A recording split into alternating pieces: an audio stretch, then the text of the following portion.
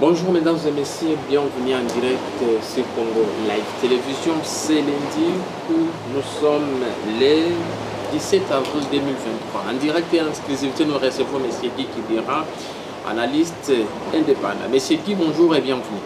Bonjour à vous, monsieur les journalistes. Bonjour à tous euh, ceux qui suivent euh, Congo Live Télévision de partout dans le monde entier. Merci Guy, encore une fois de plus d'avoir accepté notre invitation. Euh, vous êtes là pour répondre à nos quelques questions d'actualité, mais il faut signaler que le week-end, en tout cas au Congo, a été marqué par les propos du président rwandais, les propos qu'a tenus en tout cas au Bénin lors de son séjour là-bas. Monsieur Guy, vous en tant fils d'abord du Nord Kivu, un Congolais et ainsi qu'un analyste indépendant, quand vous avez suivi le président Paul Kagame, ça vous a dit quoi? Et comment vous analysez ces propos? Eh bien, les propos du président rwandais au Bénin sont des propos qui ne me surprennent pas. Euh, Vous savez que déjà à son temps, à l'époque, euh, avait tenu des, propos personnels. L'ancien président rwandais avait tenu des propos du genre euh, euh, qu'il y aurait des terres, n'est-ce pas, rwandaises en territoire de Walikale. Et par la suite, on apprendra que non, bon, il avait fait des arrangements avec euh, l'ancien président de la République à l'époque d'Isaïr, Mobutu. Mobutu, et qu'il aurait acheté une très grande concession dans le Walikale, et que c'est cela que euh, certains Rwandais voulaient réclamer comme étant des terres appartenant au, au- au Rwanda. Mais alors, euh, euh, il faut prendre ces propos du président Paul Kagame avec tout le sérieux. Pourquoi? Parce que finalement, il commence à réfléchir à haute voix. Et ce qui se disait tout bas commence à se ce qui se pensait tout bas commence à se dire tout haut. Et donc, euh, le fait d'extérioriser ce qu'ils ont en- au fond d'eux nous permet de comprendre c'est quoi Les intentions. euh, les intentions, n'est-ce pas, de, ce- de- de- de certains pays voisins, justement le Rwanda, en- par- par- par- par- parmi eux. Et il faut faire une bonne analyse, un bon rapprochement des faits qui se passent dans cette région et dans le Nord Kivu pour comprendre euh, réellement euh, s'ils ont de l'intention ou pas. Parce que quand on parle par exemple de la balkanisation, moi je l'ai toujours dit, euh, Balkaniser, c'est une démarche qui va dans le sens de vouloir annexer, n'est-ce pas, une partie du territoire X sur le territoire Y. Et pour le cas, c'est vouloir couper une partie du territoire congolais et l'annexer sur le territoire euh, rwandais. Euh, je me rappelle un moment, un ami, un compagnon de l'élite, Patrick Bala, a justement dit qu'il fallait justement qu'on fasse le contraire, qu'on annexe le Rwanda sur la RDC. Vous voyez de tels propos qui fâchent de part et d'autre et qu'il ne faut pas encourager. Pourquoi je l'ai dit Parce que justement, euh, il n'y a personne qui peut aller à l'encontre des dispositions légales réglementaires et même des dispositions politiques. Puisqu'après euh, euh, la conférence de Berlin, euh, les, mi- les mi- les- les- les limites ont été tracées entre les pays euh, de la région. Et vous savez très bien que les limites entre la RDC et le Rwanda sont connues. Les derniers cas, les derniers cas qui prouvent que ce que le président rwandais a dit est une pure provocation et qui n'aura jamais d'effet sur la RDC parce que les Congolais n'accepteront pas, c'est le fait que, rappelez-vous, du temps de euh, l'honorable Julien Paloukou, quand il était encore gouverneur ici, vous avez suivi, il y a eu cette euh, polémique entre la- euh, entre ah, par rapport à la limite entre la RDC et le Rwanda. Et vous savez qu'il a été institué à l'époque une commission mixte qui a permis à ce qu'on puisse marquer la limite entre la RDC et le Rwanda. Et vous connaissez l'histoire des bornes qui ont été implantées, Oui. placées Oui. entre la RDC et le Rwanda. Je me rappelle encore euh, euh, personnellement lui aussi, et, et le notable Rachid Tumbula, qui était dans cette commission et qui était à l'avant-première ligne, qui donnait les détails euh, du jour, le jour à toute la population. Et cela a été fait pendant que le chef de l'État rwandais actuel était aux affaires. Pourquoi à ce moment-là il ne s'est pas réveillé? Il ne s'est pas, il ne s'est pas opposé au placement des bornes qui limitent la RDC et le Rwanda. Aujourd'hui, euh, a, su démontrer que s'il y a des réclamations à faire par rapport aux terres, c'est le Congo qui devrait réclamer des terres au, au- au- au- Rwanda. Je connais un ami qui dit, euh, qui dit que euh, ce qu'on appelait ce qu'on appelait Gisenyi Oui. à l'époque, aujourd'hui c'est le district de Rubavu.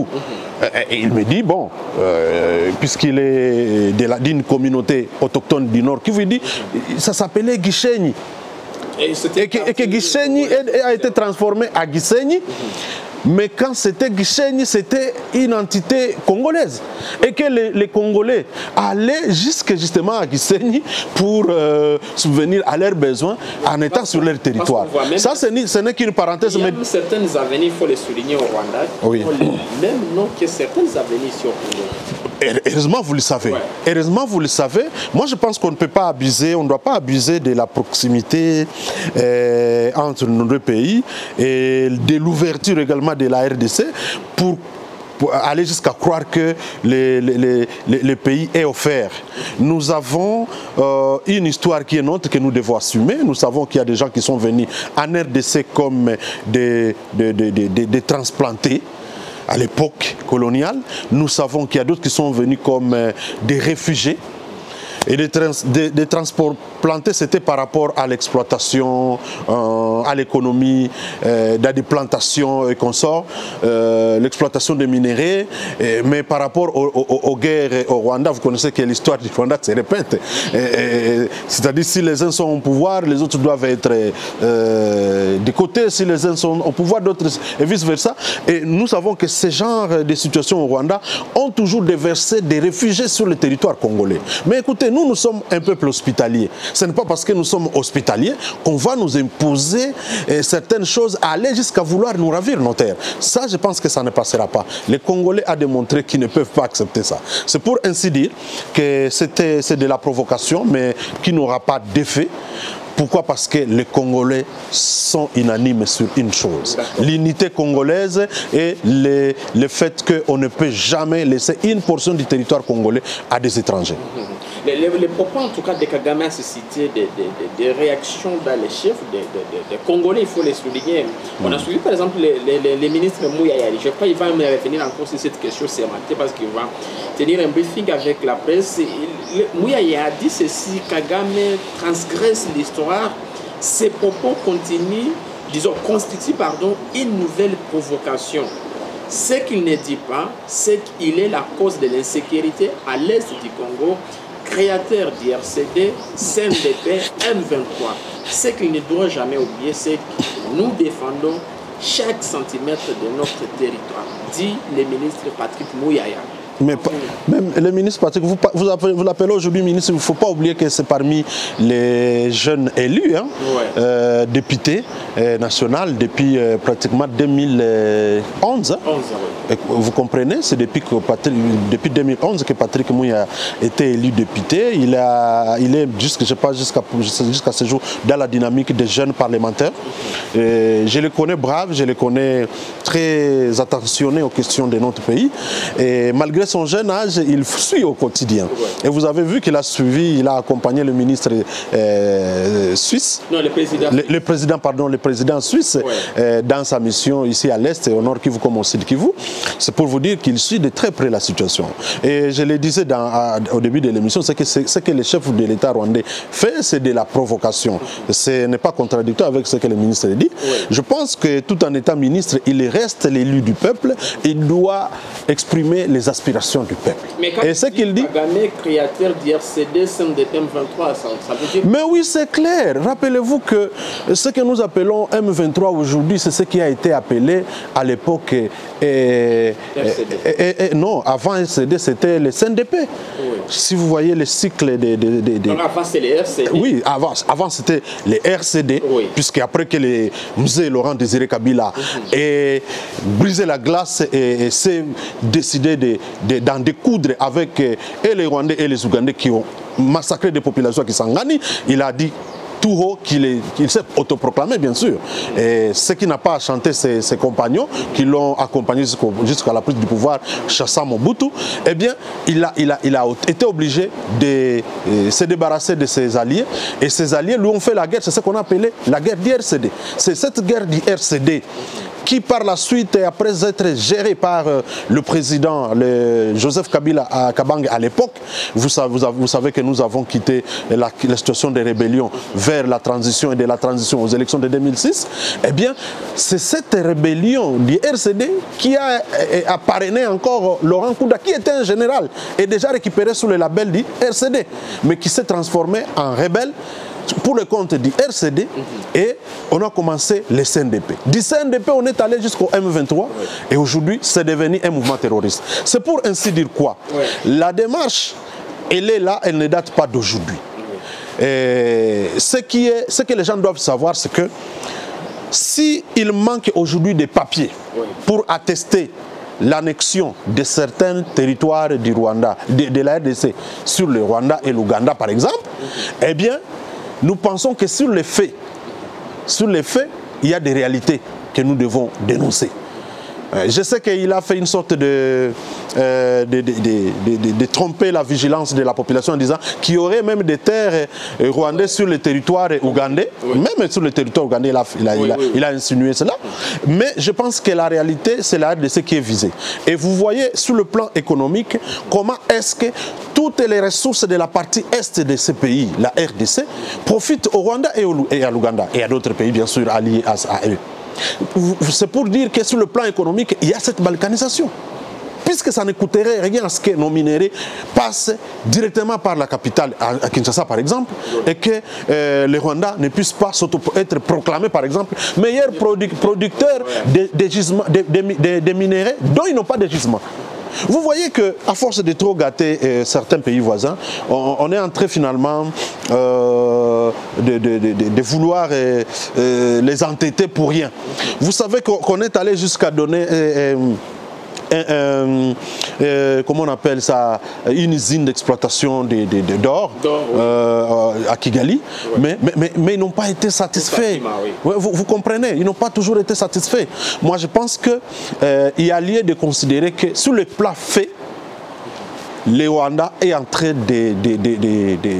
d'appliquer sa politique parce que l'influence de beaucoup de choses sur la, de, de la partie Est ont eu la tendance d'aller vers le Rwanda ou l'Ouganda. Et ça, c'est très dangereux, je l'ai dit, pour que nos gouvernants prennent garde, pour que surtout nos élus, je parle des institutions euh, de, la, de la République, et entre autres les, les- les- les- parlements congolais, ils doivent prendre des dispositions pour que cesse cette aventure rwandaise. Il faut qu'il y ait une complicité entre les institutions pour que ils mettent en place une politique étrangère à la hauteur de la menace des pays, de certains pays voisins. Il faut qu'ils mettent en place une diplomatie à la, hauteur de la menace des autres, diplomaties.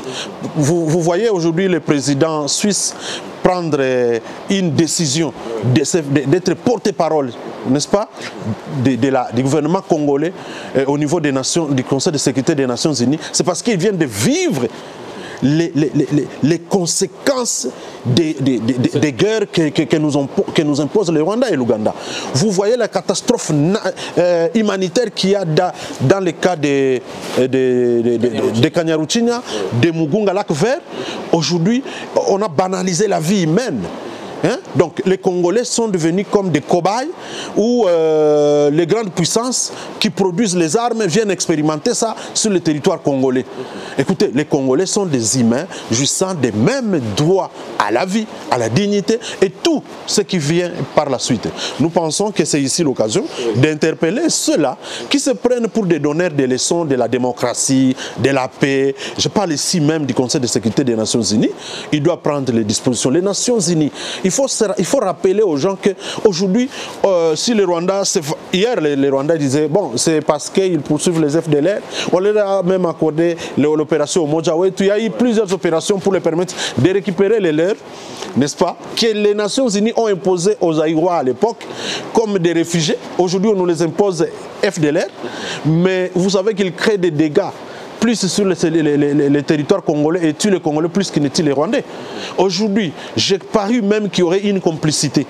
Que ces gens qu'on appellerait des FDLR travaillent toujours pour le compte du Rwanda. Je vais vous dire pourquoi. Parce que partout où il y a les FDLR, ce sont des gisements miniers. Et les minéraux qui sont exploités là-bas, le premier à mettre la main dessus, c'est qui? C'est encore le Rwanda.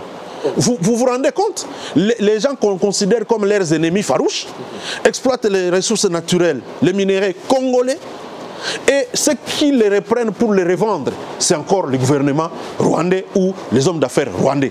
Et c'est ainsi qu'on va, proclamer par exemple le Rwanda premier producteur du coltan, des castérites. Et pourtant, ils des- n'ont pas. Ah, et pourtant, ils n'en ont pas. Ouais. Ils n'ont pas ces, ces- ces gisements miniers. C'est là que je disais que sur le plan des faits, Écoutez, c'est flou, il est entretenu parce qu'ils en profitent déjà sur le plan économique. Le pillage et l'exploitation des ressources naturelles, c'est déjà une réussite. Et qu'est-ce que vous voulez encore? C'est vrai, les papiers, ils ne les auront jamais. Mais il faut qu'on arrive à, une situation où on les empêche même de venir amasser, prendre, piller les, ressources naturelles et en- appauvrissant le peuple congolais ou en versant le sang des Congolais. C'est ce que nous voulons dénoncer. Et donc je salue euh, cette euh, prise de position de son Excellence euh, Patrick Mouyaya, qui est... Oui. D'accord. D'accord. Vous vous êtes revenu également par rapport à la visite du président suisse, parce qu'il faut préciser avant de s'envoler pour la Suisse, et il s'est entretenu, il a eu euh, un peu de presse avec la, la, la, la, la- la presse des Goma, Mm, donc, où il affirmait qu'il n'était pas en tout cas acceptable qu'un pays intervienne sur les territoires d'un pays souverain.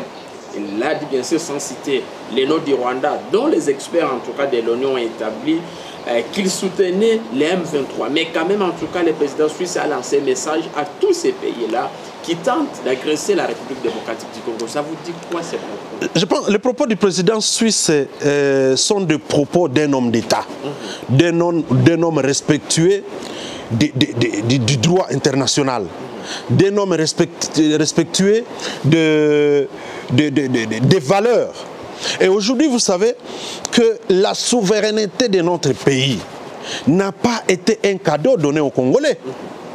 La souveraineté que nous avons aujourd'hui est, la résultante d'une lutte acharnée des Congolais parmi lesquels les jeunes qui ont toujours été à l'avant-première ligne pour faire des revendications soit sociales, soit politiques et autres, mais qui sont morts parce qu'il fallait qu'on en arrive à obtenir l'indépendance. Je ne veux pas ici revenir sur l'histoire de Emery Patrice Lumumba, paix à son âme. Mais moi je pense qu'il avait tout dit. Il a demandé aux Congolais de ne pas voir le Congo comme étant un pays grand. C'est un pays qui nous exige de la grandeur en tant que Congolais. Cela étant, les, les gouvernants congolais, les hommes d'État congolais doivent se mettre à la hauteur de leurs responsabilités. Je l'ai dit parce que ce que dit le président suisse, ça fâche un président qui arrive et qui constate directement à l'ENI que c'est la souveraineté d'un pays Qui est violée. qui est violée. Eh bien, ça dit beaucoup de choses. Ça veut dire, il a lancé un message sur l'échiquier international qu'il faille que l'on interdise l'aventure des pays qui s'aventurent justement à aller marcher sur le territoire d'autrui. Parce qu'aujourd'hui, nous continuons à rester à la défensive. Mais écoutez, j'ai toujours dit que les rapports ne resteront pas tels qu'ils sont aujourd'hui. Les gens qui sont forts aujourd'hui ne les resteront pas étern- éternellement. Les gens qui sont faibles aujourd'hui dans cette région ne les resteront pas éternellement. J'ai toujours rappelé le fait que à l'époque d'Isaïr, mais Mobutu était considéré comme les, les, les- les- gendarmes de- de- de- du continent africain. Et c'était lui qui faisait la loi. Et aujourd'hui, si Kagame a cette posture, il ne doit pas en abuser, puisqu'il doit se rappeler qu'il est passager. Le Rwanda va rester et que sa gouvernance doit rassurer, doit aussi prévenir l'avenir pour ne pas exposer son peuple. Parce que les jours où ils ne seront pas dans cette posture-là, il ne faudrait pas que d'autres pays africains, par exemple, qui auront été vexés à une période de l'histoire, puissent chercher à se venger. Merci Guy. Alors on va finir dans moins, je crois, euh, de deux minutes. On, on finit par cette actualité. Les ministres de la Défense des pays membres de l'EAC se réunissent en tout cas ce mercredi 19 avril à Goma. C'est euh, dans l'objectif de clarifier les mandats de la force régionale de l'EAC. Il faut préciser en tout cas qu'à cette occasion, ils vont également évaluer la situation sécuritaire actuelle au Nord Kivu. On aura des on aura un éclairage utile par rapport au mandat des de délais assez à l'issue de cette réunion qui sera organisée à Goma à partir de ce mercredi. Et vous, qu'est-ce que vous attendez de cette euh, rencontre, M. Guy? Eh bien, pour répondre, euh, avant de répondre à votre question, je voudrais d'abord dire que le Congo ne doit pas être pris comme un bien sans maître, où toutes les armées du monde viennent s'aventurer ici. Non, non, non. Si aujourd'hui nous sommes avec la MONUSCO, nous connaissons son histoire depuis la Monique jusqu'au jour d'aujourd'hui, nous pensons qu'il faille capitaliser cette solidarité des Nations Unies mais dans la plus grande sincérité, pour que les moyens des Nations Unies servent justement au regard de, de l'article, je crois, 23, 24 et 25 de la Charte des Nations Unies, que l'on puisse imposer la paix et en toute urgence dans la région du Grand Lac. Ça, c'est la première des choses. Alors, si East Africa Community se retrouve sur le territoire congolais, écoutez, pour les panafricanistes hmm, que, que- que- que nous sommes, on peut bien comprendre. Mais à condition qu'ils restent dans leur mandat offensif. Parce qu'avant qu'ils viennent, il faut rappeler l'histoire, c'est qu'on a considéré les M23 comme étant une euh, force, euh, d'ailleurs euh, un mouvement terroriste. Et d'autres forces telles que les FDLR et les ADF comme étant des, mouvements de forces négatives qui méritaient d'être traités comme des forces terroristes, des mouvements terroristes. Les groupes armés doivent également être anéantis. Mais écoutez, aujourd'hui, il est aberrant, inadmissible que le, les contingents East Africa Community se comportent comme de- des gardiens des territoires en jadis occupé par le M23. Non, c'est comme s'il devenait le, pro- le prolongement du M23. C'est ce que nous ne voulons pas. J'ose croire que le ministre, le vice-premier ministre, ministre de la Défense, Jean-Pierre Bemba, qui va bien sûr participer à ces assises et qui, est, qui a une histoire dans l'histoire euh, des armées et, et- et- et même des rébellions, puisqu'il a été euh, président de, seigneurs des gars. oui, il faut le préciser. J'ose croire qu'il va mettre la complaisance de côté. Pour dire à ses homologues qu'il faille que leurs leurs- troupes qui, qui sont envoyées euh, pour le compte de East Africa Community se comportent comme des éléments qui ne sont pas venus faire le tourisme, mais réellement témoigner leur solidarité à la RDC qui reste souverain et qui a cette première responsabilité de protéger son territoire national. Merci beaucoup Guy Kivira. Je rappelle que vous êtes un analyste indépendant. Merci de nous avoir accordé cet entretien. C'est lundi en direct et en exclusivité sur Congo Live. C'est moi qui vous remercie. Merci beaucoup mesdames et messieurs aussi de nous avoir suivis. Prochain rendez-vous, c'est tout à l'heure pour un nouveau numéro. Je vous disons bye bye. Merci. Merci Guy et c'est tout mot débit des semaines. Merci pareillement. Merci. Bye bye.